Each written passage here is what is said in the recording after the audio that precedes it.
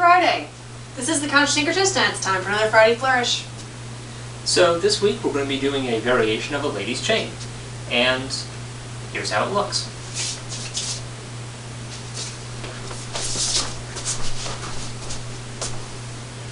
This is a simple idea, maybe a little bit more complex in the execution, but in um, instead of a normal uh, lady's chain twirl where uh, the lead would twirl the lady with his left hand, in this case uh, the lead is going to uh, lead from his right hand instead.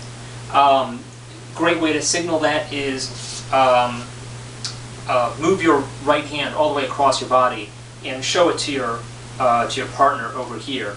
Um, make it clear that you're actually doing something different than your normal uh, than your normal twirl. Um, as she reaches for your hand from here, um, you're just your body is in a slightly different position to uh, to do the twirl. Uh, and as you're turning her around, you're turning your body at the same time to follow her twirl.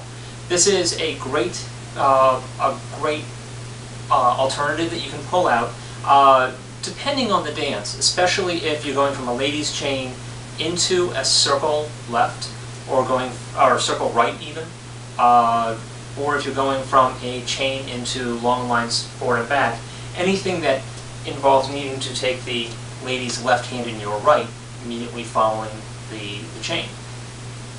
Uh, uh, with the normal normal caveats with this, don't twirl anyone that doesn't want to be twirled. Make sure that uh, it's someone that actually uh, doesn't doesn't have issues with dizziness, and doesn't have any shoulder issues if you're going to be uh, giving her some uh, stress across the shoulder as you're giving her some twirls. The other, the other two things to note on this is that actually if you have a men's chain, this does work in reverse, except for instead of using your right hand to grab his hand, you use your left. Principle is the same, um, and you still end up where you need to be. Um, the other thing on this is that there's actually an escape mechanism in this, because for instance, if you if you're going to twirl the lady and she gives you the, uh, I don't think so, and instead of pulling in her arm like that, what you can do is you can make it into a move bar borrowed from English country dancing and just make it into a gate and back up and she walks forward. And you still end up with, with the nice smooth feel and also um, you still you still don't have to switch hands at the end of it. Really go the right way. Exactly, just like in any normal lady's chain, if you go to twirl uh, the person coming at you and she declines the twirl if she keeps her hand down, never force the issue. She knows what she would like, what she prefers.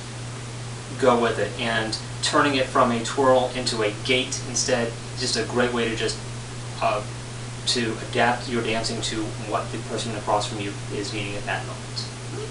Anyway, one more time, the flourish looks like this. This has been the Contra Syncretist. Join us again next time for another Friday Flourish, and submit your own at contrasyncretist.com or on this YouTube channel. Thanks for watching.